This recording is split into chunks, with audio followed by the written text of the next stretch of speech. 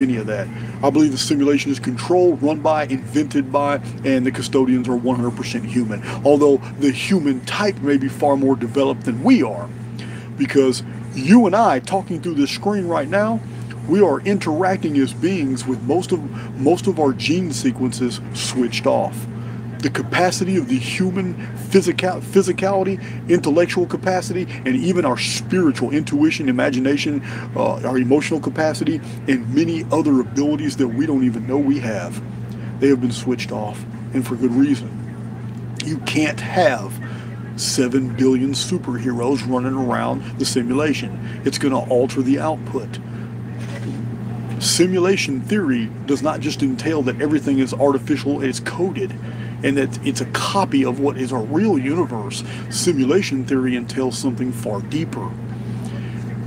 There must be misery. There must there must be hunger. There must be all the negative base human emotions. It must be in a predator versus prey ecosphere. These things are necessary because it has to fool those in the maze.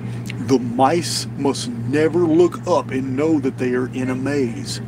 Because once the mice in the collective act like they're in a maze, then it alters the outcome of the program.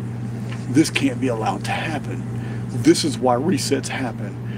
The collective cannot wake up because when they do, it completely alters the whole intent behind creating the simulation itself. So,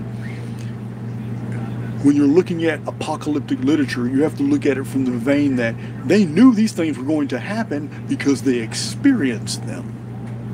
Every reset has always had great and wise men and women who recorded what happened in the past.